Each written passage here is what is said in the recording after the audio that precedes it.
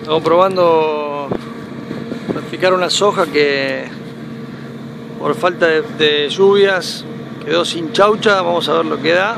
Vamos a empezar el camión ahora. Marzo 2013, Nelson José.